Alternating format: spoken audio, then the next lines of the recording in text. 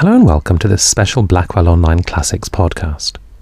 My name is George Miller, and I'm delighted to say that my guests in this programme are the authors of the first volume in the Penguin History of Europe series, Simon Price and Peter Thonemann. Their volume in the series is entitled The Birth of Classical Europe, a history from Troy to Augustine, and as such, it covers a vast sweep of some 2,000 years of European history.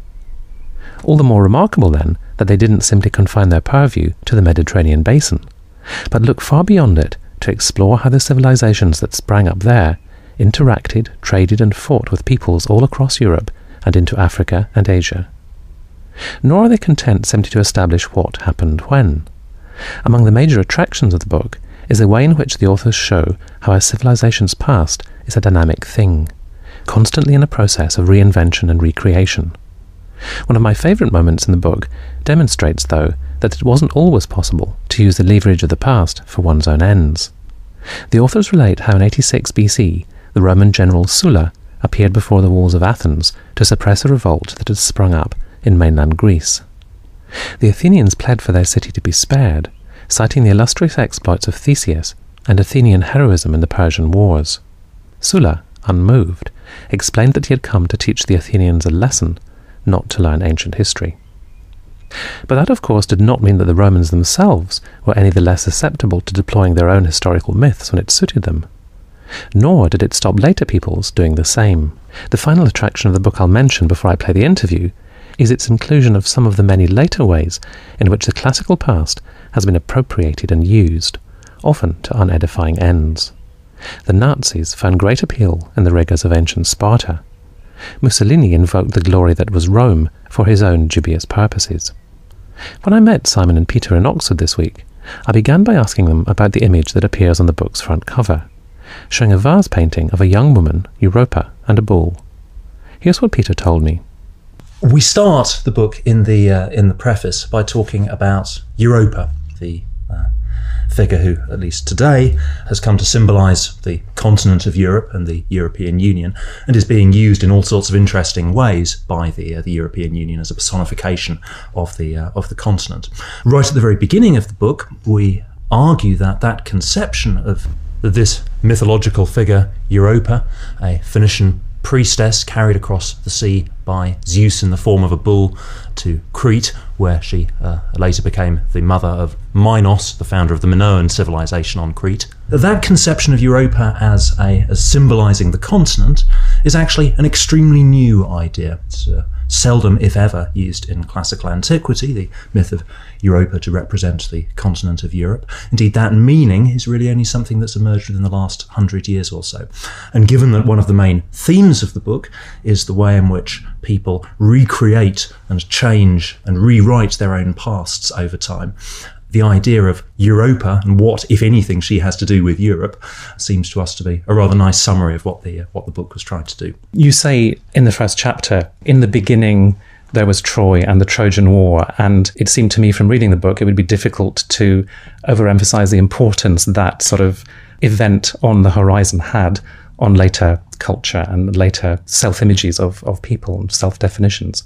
Can you say something about just why that is such a significant point of reference really throughout this book.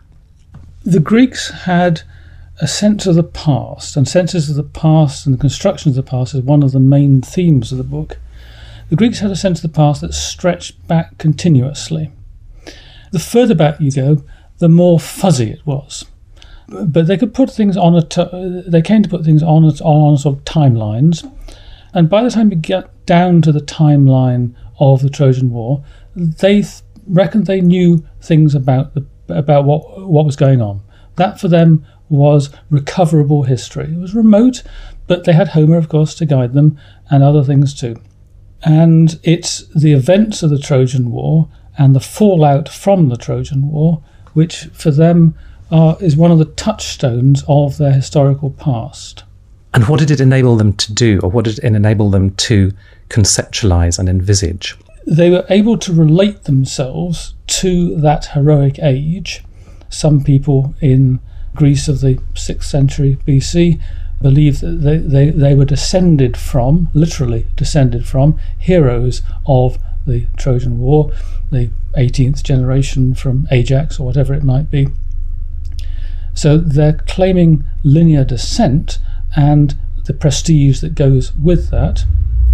They're also claiming at the communal level that their communities were relatable to those heroic days.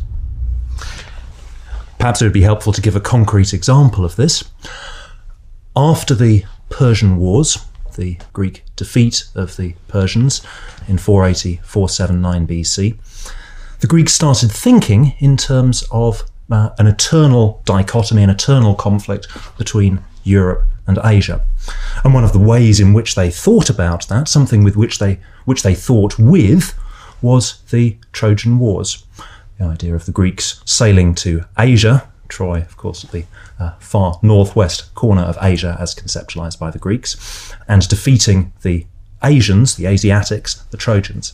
Now, that meaning of the Trojan Wars as the beginning of a great conflict between Europe and Asia, Greeks and barbarians, is not there in Homer, but nonetheless, the Greeks of the 5th century, in thinking about the Persian Wars, chose to think about it through and in terms of Troy and the Trojan Wars. How useful is this sort of dichotomous way of thinking in the ancient world? Because it seemed it seemed to me that that was something which runs through many of the chapters. The sense of belonging to a particular community and those who are outside it, or other ways of of splitting the world into into two Greeks and barbarians, or men and women. One dichotomy that we concentrated on a good deal in the book is the dichotomy between Europe and Asia, and at a, a, slightly later period, Europe and Africa, which is enormously important for the ways in which Greek, Roman, and other communities are thinking about themselves and their neighbours. Eric Hobsbawm says somewhere that Europe is a political program pretending to be a geographical expression. And that I think is a really, what we think is a really interesting way of thinking about Europe, that there is no Europe objectively defined by geography. Europe is a way of thinking about us as opposed to a defined other. And certainly that's one of the major themes that we were trying to explore in this, uh, in this book.